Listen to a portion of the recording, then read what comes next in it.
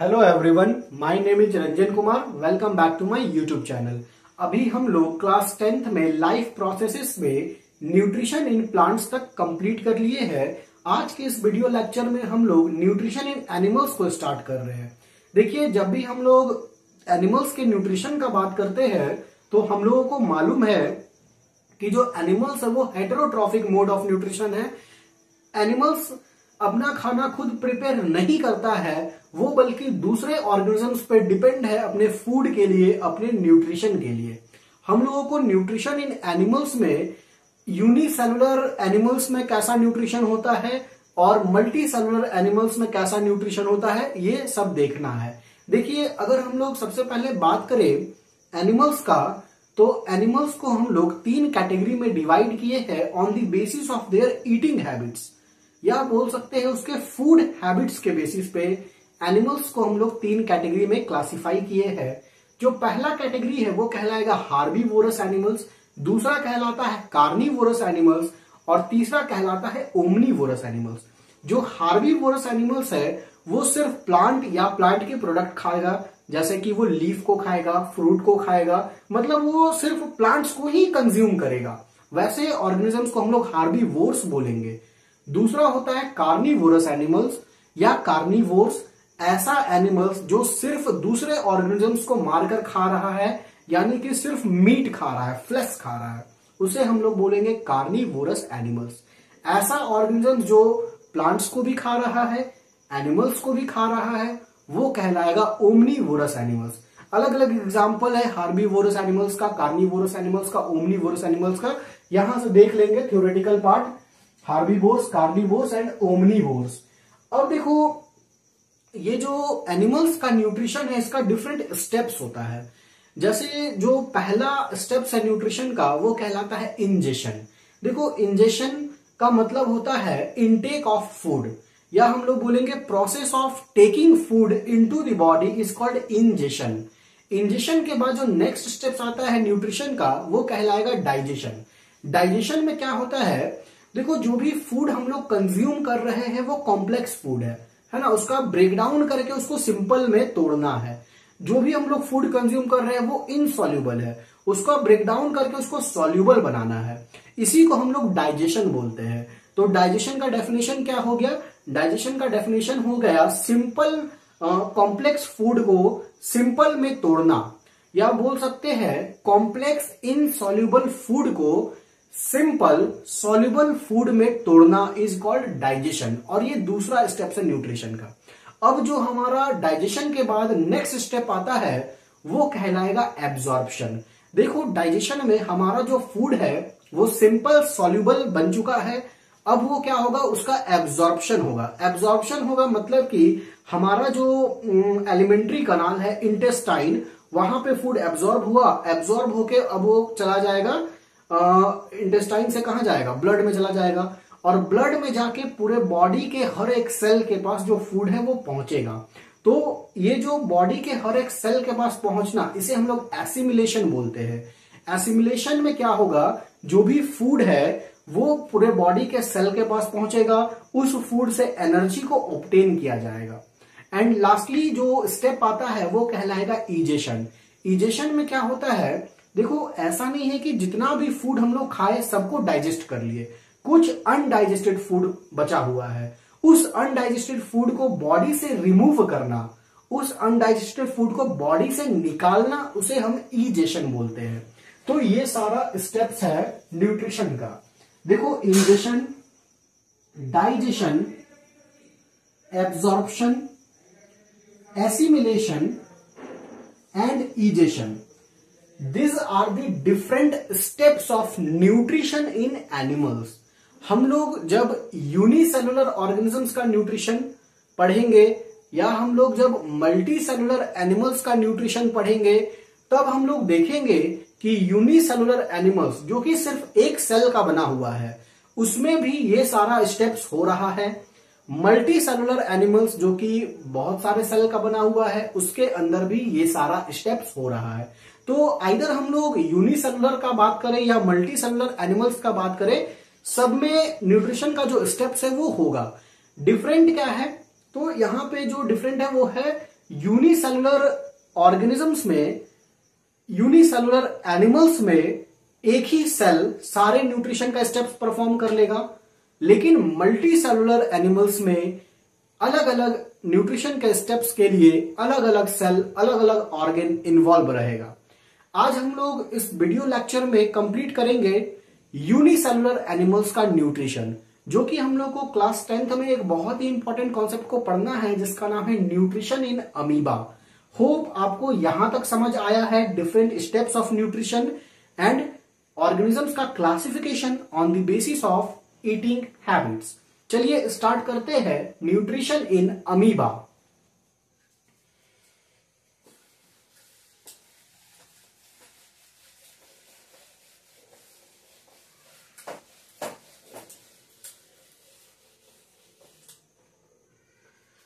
तो हम लोग देखेंगे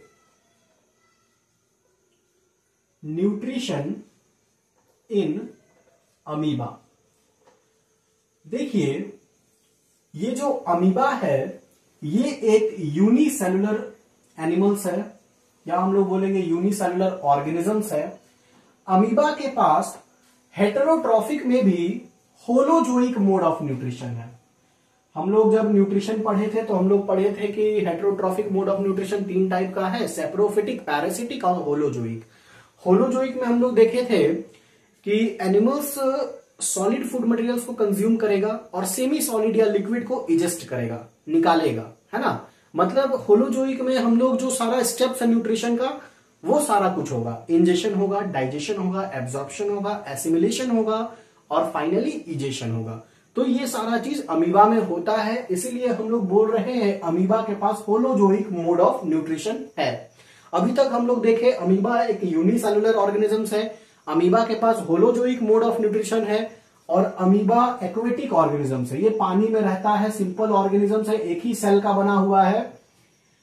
देखिए, अमीबा एक्वेटिक है यानी कि पानी में रहता है तो पानी में जो भी माइक्रोस्कोपिक छोटे छोटे प्लांट्स और एनिमल्स है, वही अमीबा का फ़ूड है। मतलब कि वो टाइनी माइक्रोस्कोपिक प्लांट्स और एनिमल्स को कंज्यूम करता है। देखिए अमीबा का जो मोड ऑफ़ ऑप्टेनिंग फ़ूड है, उसको हम लोग फैगोसाइटोसिस बोलते हैं। फैगोसाइटोसिस फैगोसाइटोसिस का मतलब होता है सेल्फ फीडिंग फैगोसाइटोसिस का मीनिंग है सेल्फ फीडिंग ये अमीबा का जो मेथड्स है फ़ूड को ऑप्टेन करने का, वो कहलाएगा फैगोसाइटोसिस तो ये जनरल इंट्रोडक्शन है अमीबा के बारे में। हम लोग क्या क्या देखे? अमीबा यूनिसेलुलर है अमीबा के पास होलोजोइक मोड ऑफ़ न्यूट्रिशन है अमीबा एक्वेटिक है, और अमीबा का जो मेथड है फ़ूड को ऑप्टेन करने का, वो फैगोसाइटोसिस कहलाता है। अमीबा पानी में रहता है और उसके सराउंडिंग में जो भी छोटे छोटे प्लांट्स और एनिमल्स प्रेजेंट है अमीबा उसी को खाता है, उसी को कंज्यूम करता है। देखिए, अब different steps of nutrition in amoeba सबसे पहले अगर हम लोग बात करें अमीबा में इंजेशन कैसे होता है? देखो, हम लोग को मालूम है इंजेशन का मतलब होता है the process of taking food into the body या simply intake of a food is called ingestion देखिए, अमीबा के पास कोई भी स्पेशलाइज्ड स्ट्रक्चर नहीं है, जिससे कि वो फ़ूड को लेके खा ले। अमीबा के पास माउथ भी नहीं है है ना? अमीबा के पास जो मुँह होता है, वो भी नहीं है। तो अमीबा इंजेक्शन कैसे करेगा, वो देखिए। अमीबा के पास एक स्ट्रक्चर होता है, ये टाइनी फिंगर लाइक प्रोजेक्शन देखिए, ये सिंपली अमीबा का स्ट्रक्चर अभी हम बना रहे हैं। यहाँ पे अमीबा का न्यूक्लियस है। मान लीजिए अमीबा का न्यूक्लियस है। ये अमीबा है है ना? क्या है ये? अमीबा। पानी में प्रेजेंट है। देखिए, मान लो पानी में ये फ़ूड है। फ़ूड पार्टिकल्स है ये। अब अमीबा इंजेक्शन कैसे करेगा? तो अमीबा के पास ना तो कोई माउथ है अमीबा के पास ना तो कोई स्पेशलाइज स्ट्रक्चर जैसे कि फ़ूड को निकाल के वो मुँह में रख ले, है ना? माउथ ही नहीं है, कोई स्ट्रक्चर नहीं है। अमीबा एक टाइनी फिंगर लाइक प्रोजेक्शन को बनाता है है ना? ये फिंगर लाइक प्रोजेक्शन है, जिसका नाम है स्यूडोपोडिया स्यूडोपोडिया या इसी को हम लोग बोलते हैं फॉल्स फिट स्यूडो मतलब होता है फॉल्स और पोडिया मतलब फिट फॉल्स फिट बोलो या फॉल्स लेग बोलो, सब एक ही, है ना? सबका मीनिंग एक ही है।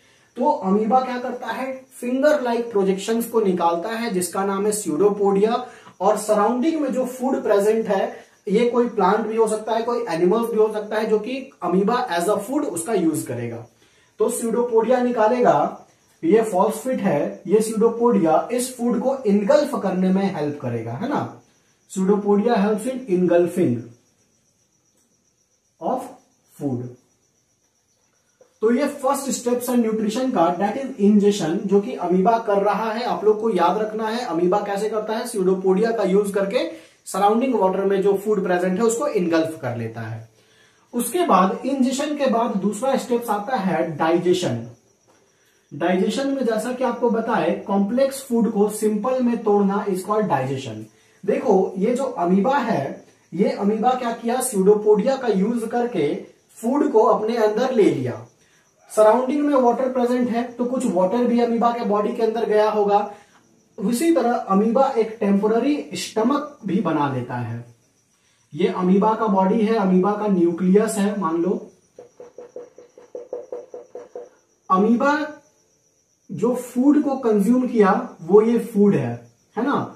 और ये एक टेम्पररी स्ट्रक्चर बनाता है, या अमीबा का टेम्पररी स्टमक हम लोग बोल सकते हैं जिसे हम लोग फ़ूड वैक्यूल्स बोलते हैं। क्या बोलते हैं? फ़ूड वैक्यूल्स ये जो अमीबा है, ये फ़ूड वैक्यूल्स का फॉर्मेशन कर लिया है। फ़ूड वैक्यूल्स एक टेम्पररी स्टमक है अमीबा का। इसी के अंदर अमीबा का डाइजेशन होगा। कैसे डाइजेशन होगा?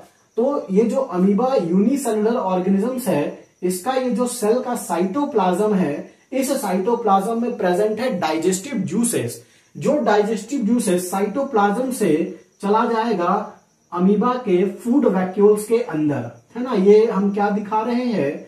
ये हम दिखा रहे हैं अमीबा का जो साइटोप्लाज्म है। साइटोप्लाज्म में जो डाइजेस्टिव जूसेस प्रेजेंट है, जो डाइजेशन में हेल्प करेगा, वो चला गया फ़ूड वैक्यूल्स के अंदर। अब यहाँ पे जो फ़ूड पार्टिकल्स अमीबा इनगल्फ किया है, उसका हो रहा है डाइजेशन जो चीज़ बोल रहे हैं एक एक चीज़ पे गौर करना। सेल के साइटोप्लाज्म में प्रेजेंट है digestive juices digestive juices cytoplasm से चल गया फ़ूड वैक्यूल्स के अंदर और फ़ूड वैक्यूल्स के अंदर हो रहा है डाइजेशन है ना? अब जैसे ही डाइजेशन कंप्लीट होगा, ये फ़ूड वैक्यूल्स डिसअपियर हो जाएगा, खत्म हो जाएगा। बताए ना? ये जो फ़ूड वैक्यूल्स है it is a temporary stomach of amoeba जो कि फ़ूड वैक्यूल्स का फॉर्मेशन कैसे हुआ? फ़ूड जैसे ही अमीबा इनगल्फ किया, उसके साथ कुछ वाटर भी एंटर किया और वो दोनों टेम्पररी स्टमक बना लिया, जिसका नाम है फ़ूड वैक्यूल्स अब इसके बाद तीसरा स्टेप होगा डाइजेशन के बाद, जिसका नाम है एब्जॉर्प्शन देखो एब्जॉर्प्शन में क्या होगा? ये जो मेरा फ़ूड वैक्यूल्स के अंदर डाइजेशन हो गया फ़ूड का, वो अब एब्जॉर्ब होगा. एब्जॉर्ब होने का मतलब है कि ये पूरे अमीबा का जो सेल है वो वहाँ पे एब्जॉर्प्शन होगा, है ना? कैसे होता है एब्जॉर्प्शन तो एब्जॉर्प्शन होता है डिफ्यूजन के प्रोसेस से। कैसे होता है एब्जॉर्प्शन डिफ्यूजन के प्रोसेस से। याद रखना अमीबा में जो एब्जॉर्प्शन है, वो डिफ्यूजन के थ्रू होता है। जैसे ये अमीबा का बॉडी है अमीबा का न्यूक्लियस हो गया। ये अमीबा का बॉडी है। यहाँ पे जो मेरा फ़ूड वैक्यूल्स है, इसके अंदर फ़ूड का डाइजेशन हुआ। इसका अब हो रहा है एब्जॉर्प्शन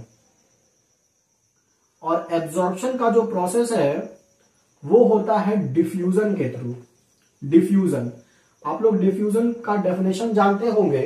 डिफ्यूजन का मतलब होता है movement of molecules from higher concentration to its lower concentration ऐसे हम लोग समझ सकते हैं कि ये फ़ूड वैक्यूल्स के अंदर जो फ़ूड है, उसका डाइजेशन हुआ है। यहाँ पे फ़ूड का हायर कंसेंट्रेशन है और साइटोप्लाज्म में लोअर कंसेंट्रेशन है। तो हायर कंसेंट्रेशन से लोअर कंसेंट्रेशन की ओर मूव करेगा? इसी को हम डिफ्यूजन बोलते हैं।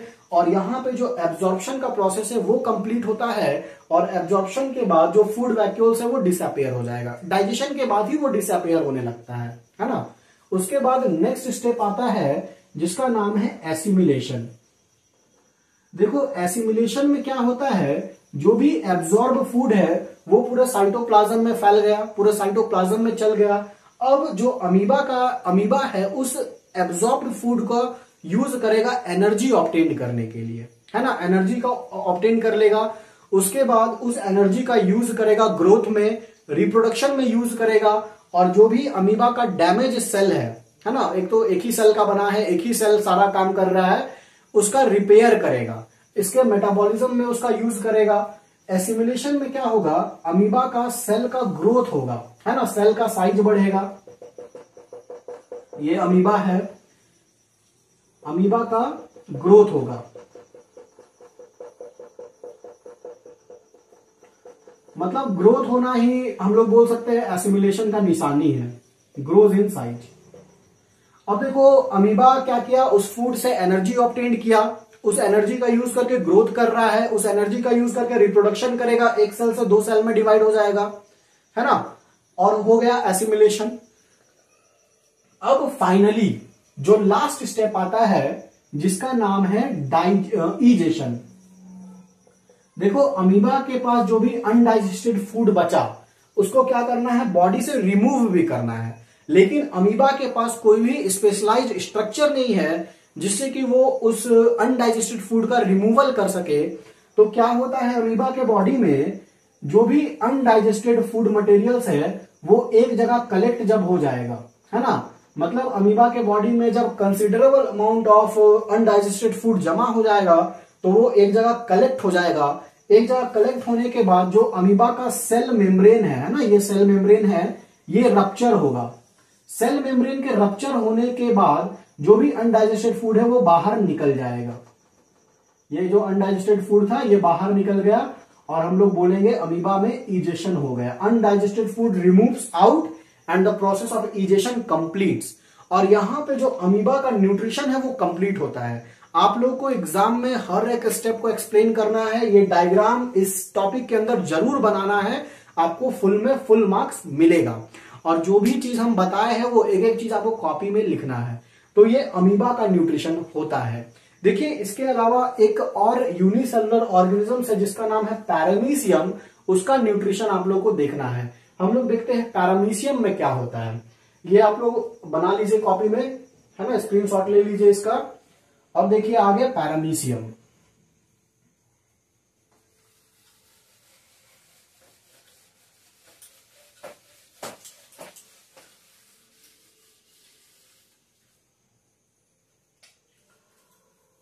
Nutrition in paramecium. देखिए, पैरामीसियम भी एक यूनिसेलुलर ऑर्गेनिज्म है, ये भी पानी में रहता है। देखिए, पैरामीसियम के पास कोई स्यूडोपोडिया नहीं है है ना? फॉल्स फिट नहीं है। ये कैसे फ़ूड को इंगल्फ करेगा वो देखो। पैरामीसियम का स्ट्रक्चर पहले देख लीजिए।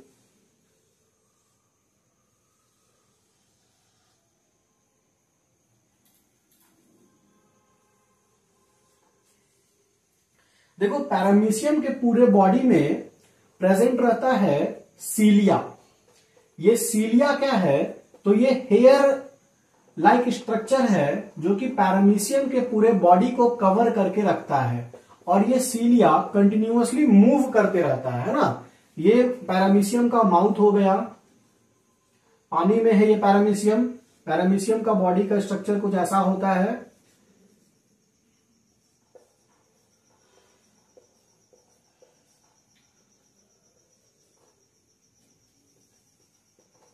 ये पैरामीशियम है। तो पैरामीशियम में क्या होगा? इंजेशन का प्रोसेस कैसे होगा? इंजेशन तो इंजेक्शन का प्रोसेस होगा सीलिया के मूवमेंट से। ये सीलिया क्या है? ये हेयर लाइक आउटग्रोथ है। हेयर लाइक आउटग्रोथ है जो कि पैरामीशियम के पूरे बॉडी में प्रेजेंट है है ना? जैसे ही ये सीलिया मूव करेगा तो जो सराउंडिंग में प्रेजेंट फ़ूड पार्टिकल्स है, ये फ़ूड पार्टिकल्स को इनगल्फ कर लेगा और ये माउथ के द्वारा और माउथ से आ जाएगा वो बॉडी के अंदर, है ना? ये जो फ़ूड पार्टिकल्स है सीलिया के मूवमेंट के द्वारा बॉडी के अंदर आ गया इनगल्फ हो गया, है ना? अब देखो, ये जो इनगल्फ हो गया, इसके बाद फर्दर जो भी न्यूट्रिशन का प्रोसेस होता है इंजेशन के बाद डाइजेशन डाइजेशन के बाद एब्जॉर्प्शन एब्जॉर्प्शन के बाद एसिमिलेशन और एसिमिलेशन के बाद इजेशन ये सारा प्रोसेस एज इट इज़ चलेगा, जैसा कि हम लोग अमीबा के अंदर पढ़े। तो ये था nutrition in amoeba and paramecium इसके बाद आने वाले वीडियो लेक्चर में हम लोग देखेंगे मल्टी सेलुलर ऑर्गेनिजम्स का न्यूट्रिशन और हम लोग को मेनली पढ़ना है nutrition in human beings human beings में कैसे न्यूट्रिशन होता है, कैसे ये सारा स्टेप्स कवर होगा, ये सारा चीज़ देखेंगे। होप आपको nutrition in amoeba and nutrition in paramecium समझ आया होगा। अगर आपको इस टॉपिक का हैंड रिटेन नोट चाहिए तो मुझे डीएम करिए। डिस्क्रिप्शन बॉक्स में मेरा कॉन्टेक्ट नंबर दिया हुआ है। आपको इसका हैंड रिटेन नोट्स मिल जाएगा। Thanks all